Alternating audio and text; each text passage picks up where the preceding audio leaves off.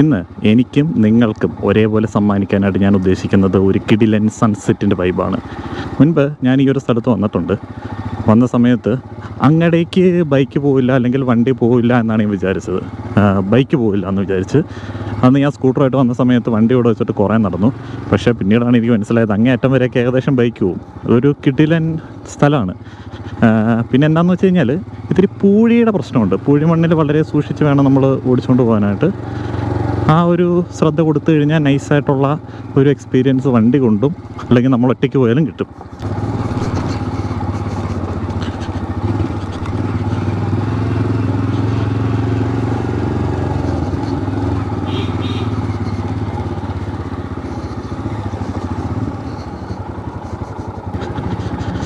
നല്ല വൈബല്ലേ പൊളി വൈബല്ലേ ഇതാണ് ഇവിടുത്തെ ഒരു കിടിലൻ വിഷ്വൽ. ഇവിടെ ഒത്തിരി ആൾക്കാർ ചൂണ്ടയിടാനായിട്ട് വരുന്ന ഒരു സ്ഥലമാണ്. എന്റെ ബൈക്ക് ഒരു ഭീകര രൂപയായതുകൊണ്ടാണെന്ന് തോന്നുന്നു എല്ലാവരും നോക്കുന്നുണ്ട്. ഇതിൽ ക്യാമറ സെറ്റ് ചെയ്തേക്കുന്നത് ഇത്തിരി ഡിഫറെന്റ് ആയിട്ടാണ്. നോർമലി ഗോപ്രോ വയ്ക്കാത്ത നോർമലി ഗോപ്രോ വയ്ക്കാത്ത ഒരു ടൈപ്പിലാണ് ഞാൻ സെറ്റ് ചെയ്തേക്കുന്നത്. ഇവിടെ നമ്മൾ സൂക്ഷിച്ചില്ലെങ്കിൽ മണൽ വീഴും. ഓക്കെ നൈസ് രക്ഷപ്പെട്ടിരിക്കുന്നു.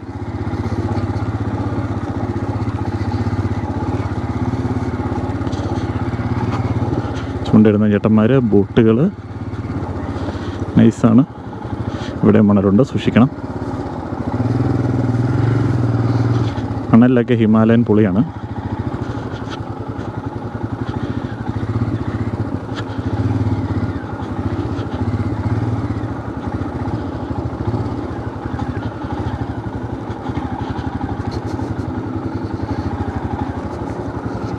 സൺസെറ്റ്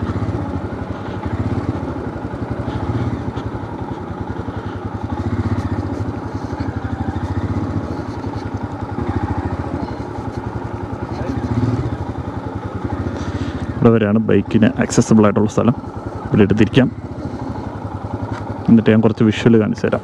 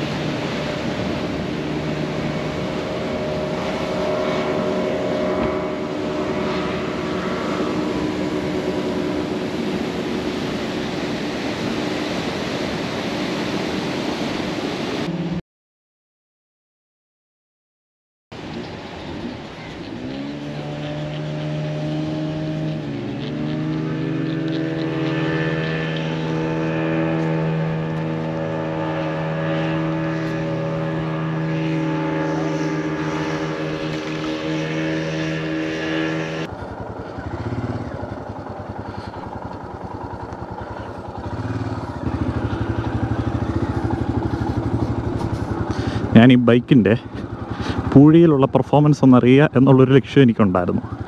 പടച്ച് വീണ് കഴിഞ്ഞാൽ താങ്ങാനായിട്ടൊരു ക്രാഷ് കാർഡ് കൂടി എനിക്കില്ല.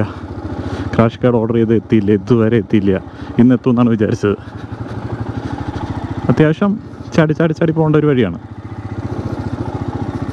സൺസെറ്റ് തന്നെ വൈബാണ് ബീച്ച് എന്ന് പറയുമ്പോൾ തന്നെ സൺസെറ്റാണ്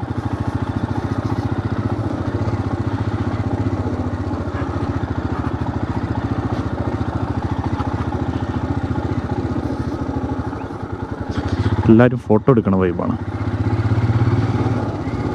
ഞാൻ വീഡിയോ എടുക്കണ വൈബും ഞാൻ ചുമ്മാ ഒരു വെറൈറ്റിക്ക് ജാക്കറ്റ് ഇട്ടുകൊണ്ടാണ് ഇറങ്ങിയത്. ഇറങ്ങിയപ്പോൾ നല്ല വെയിലായിരുന്നു. എനിക്ക് വേറെ ഒന്ന് രണ്ട് പരിപാടിയൊക്കെ ഉണ്ടായിരുന്നു. പക്ഷെ പിന്നീട് ആ ഒരു തീരുമാനം ഓർത്തിട്ട് ഞാൻ ഖേദിക്കുന്നു. നല്ല ചൂടല്ലേ? ഇവിടെ പുഴിയുണ്ട് സൂക്ഷിക്കണം. ക്ലച്ച് താങ്ങാതെ പോകേണ്ടതാണ്. പക്ഷെ ക്ലച്ച് താങ്ങിപ്പോവും ഈ പുഴിയിൽ. ഗോപ്രോടെ വൈബ്രൻസ് എന്ന് പറയുന്ന ഒരു ഓപ്ഷൻ ഉണ്ടേ. അതങ്ങോട്ട് ഇട്ട് കൊടുത്തു കഴിഞ്ഞാൽ ഉണ്ടല്ലോ. നമുക്ക് പിന്നെ കളറൊന്നും എക്സ്ട്രാ കയറ്റേണ്ട ആവശ്യമില്ല. പിന്നെ ഞാൻ എന്നെ ഉദ്ദേശിക്കുന്നത് വെച്ച് കഴിഞ്ഞാൽ ഇത്തിരി കളറൊക്കെ ആയിട്ട് ഇരുന്നോട്ടെ. നമ്മൾ കാണുന്ന സമയത്ത് നൈസായിട്ട് ഇരിക്കേണ്ട വിഷ്വലൊക്കെ അതിനുവേണ്ടിയാണ് ഇത്തിരി കളറൊക്കെ ഇട്ട് വൈബ്രൻസ് ഇട്ട് കൊടുക്കുന്നത് അപ്പം നൈസായിരിക്കും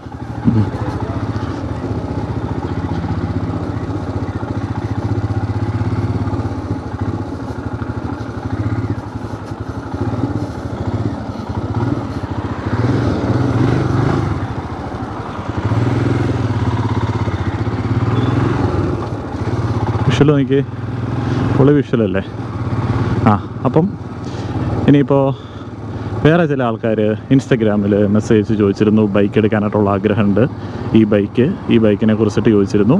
അപ്പോൾ ഇതിന്റെ ഫസ്റ്റ് സർവീസ് കഴിഞ്ഞു. ഫസ്റ്റ് സർവീസ് കഴിഞ്ഞിട്ട് ഇതിന്റെ ഒരു റിവ്യൂ ചെയ്യാനായിട്ടും കൂടെയാണ് ഞാൻ ഇറങ്ങിയത്. എല്ലാവർക്കും ഇഷ്ടപ്പെടുകയല്ല റിവ്യൂ പക്ഷേ നിങ്ങൾക്ക് എല്ലാവർക്കും ഇഷ്ടപ്പെടുന്ന രീതിയിൽ ഞാൻ ഇതിന്റെ റിവ്യൂ പറയാനായിട്ട് ശ്രമിക്കാം കേട്ടോ. എല്ലാ ബൈക്കിനും ഒരു ക്യാരക്ടറുണ്ട്. ക്യാരക്ടർ എന്ന് പറയുമ്പോഴത്തേന് ഇപ്പോൾ സ്പ്ലെൻഡർ ബൈക്ക് പഴയ സ്പ്ലെൻഡർ ബൈക്ക് നമ്മളുടെ അനിയത്തി പ്രാവിനകത്തെ കുഞ്ചാക്കോ ബോബനൊക്കെ ഓടിച്ചുകൊണ്ട് നടക്കുന്ന ബൈക്ക് അതൊരു എക്സിക്യൂട്ടീവ് ക്യാരക്ടറുള്ള ഒരു ബൈക്കാണ് അത് കഴിഞ്ഞിട്ട് ഞാനൊക്കെ ഉപയോഗിച്ച് വളരെ കാലങ്ങൾക്ക് ശേഷം ഉപയോഗിച്ച യൂണിക്കോൺ അതും ഒരു എക്സിക്യൂട്ടീവ് ക്യാരക്ടർ ബൈക്കാണ് ബുള്ളറ്റ് എന്നൊക്കെ പറഞ്ഞു കഴിഞ്ഞാൽ കുറച്ചും കൂടെ നമ്മുടെ പഴയ ജീപ്പൊക്കെ പോലെ. മറ്റേ ആ ഒരു പൗരുഷം എന്നൊക്കെ നമ്മൾ ഒരു കാലത്തൊക്കെ അവകാശപ്പെട്ടുകൊണ്ടിരുന്ന ആ ഒരു സാധനം തുളുമ്പുന്ന ഒരു സാധനമായിരുന്നു. പക്ഷേ ഇപ്പോൾ എല്ലാവരും ബുള്ളറ്റ് എല്ലാവരും ഉപയോഗിക്കുന്ന ഒരു സാധനമാണ്.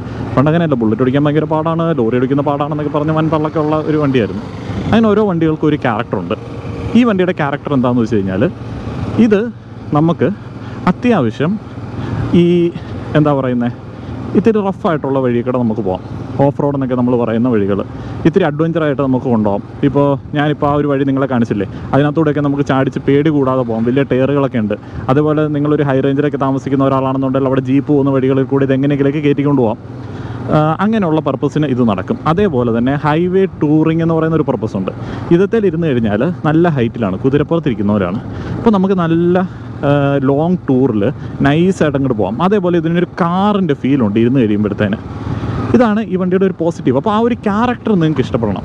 അപ്പോൾ എനിക്ക് ആ ഒരു ക്യാരക്ടർ ഇഷ്ടമാണ് കാരണം എന്റെ വണ്ടികളുടെ സ്വഭാവം നോക്കിയാൽ നിങ്ങൾക്കറിയാം.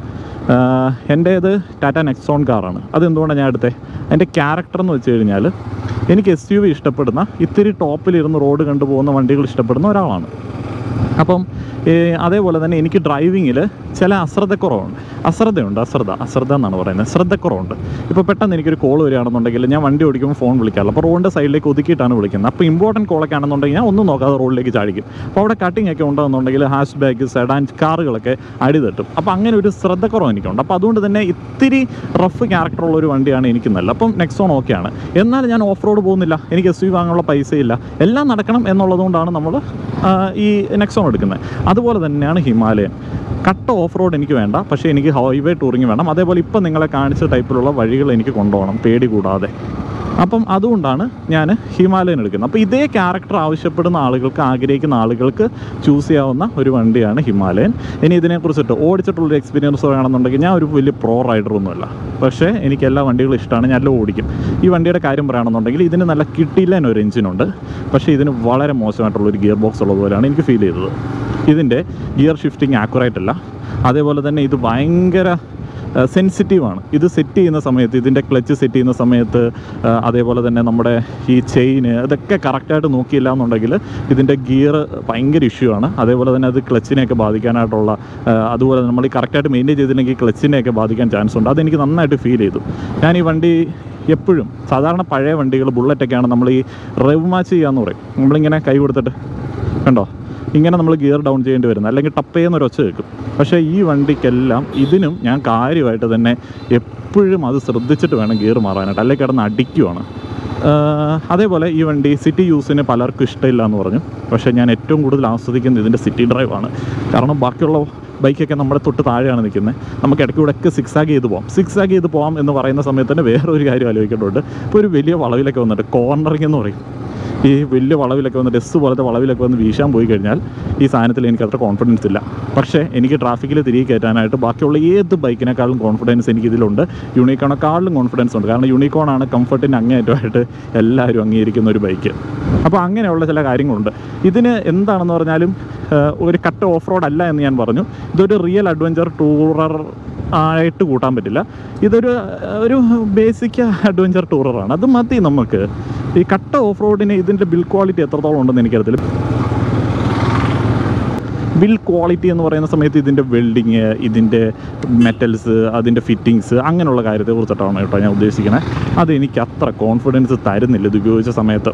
പക്ഷേ ഞാൻ ഒരു കാര്യം കണ്ണും പൂട്ടി നിങ്ങളോട് പറയാം. ഈ ഒരു വണ്ടി ഈ ഒരു പൈസയ്ക്ക് വെർത്താണ്. ഈ ഒരു പൈസയ്ക്ക് ഈ വണ്ടിയെ കിട്ടുള്ളൂ. കുറച്ചും കൂടെ പൈസ കൊടുത്താൽ ബി എം ഡബ്ല്യുവിന്റെ ജി ത്രീ ടെൻ ഉണ്ട്. പക്ഷേ അതിന്റെ ഫ്രണ്ടിലത്തെ ഫൈബറൊക്കെ ഞാൻ ടെസ്റ്റ് ഡ്രൈവ് ചെയ്തതാണ്. അതൊക്കെ ഇത്തിരി ഒന്ന് സ്പീഡിൽ ഓടിക്കുമ്പോൾ തന്നെ അതെല്ലാം കൂടെ കിടന്ന് വിറയ്ക്കാൻ തുടങ്ങുന്നുണ്ട്.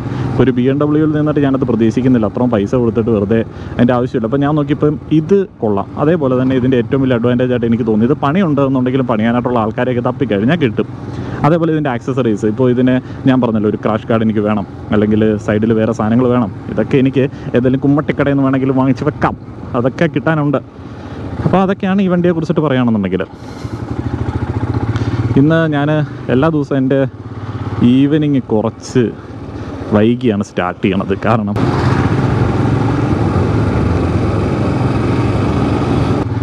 പണിയൊക്കെ കഴിഞ്ഞിറങ്ങുമ്പോൾ ഒരു സമയമാവും. ഇന്ന് വേറെ ഒരു പരിപാടിയും നടന്നില്ല. ഇന്ന് എന്റെ വർക്കോട് വർക്ക് ആ ഒരു വിഷയം നിങ്ങളെ കാണിക്കാൻ കൂടെ കൊള്ളത്തില്ല. ഒരു കമ്പ്യൂട്ടറിന്റെ ഫ്രണ്ടിൽ ഒരു മനുഷ്യൻ ഇടയ്ക്ക് ഫോൺ എടുത്ത് നോക്കും. ഇടയ്ക്ക് കമ്പ്യൂട്ടറോട്ട് നോക്കും. ഇടയ്ക്ക് റീൽസിന്റെ ഓസ് കേൾക്കാം. ഇങ്ങനെ ഇരിക്കുക കുറേ നേരം.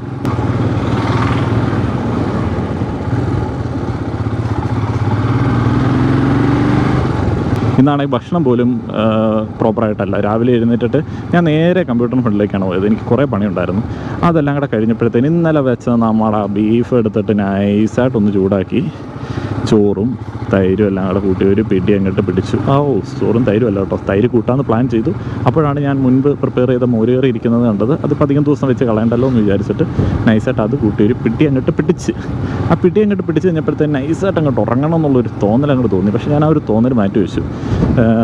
ഞാൻ എല്ലാ ദിവസവും വീഡിയോ ഇടാനായിട്ടുള്ള ഒരു പ്രിപ്പറേഷനിലാണ് ഇഷ്ടമാണ് ഇത് നൈസ് ഒരു പരിപാടിയാണ്. മറ്റേ ചാനൽ പോലെയല്ല. മറ്റേ ചാനലിൽ എന്തുകൊണ്ട് വീഡിയോ ഇടുന്നില്ല എന്നൊക്കെ പല ആൾക്കാരും ചോദിച്ചു.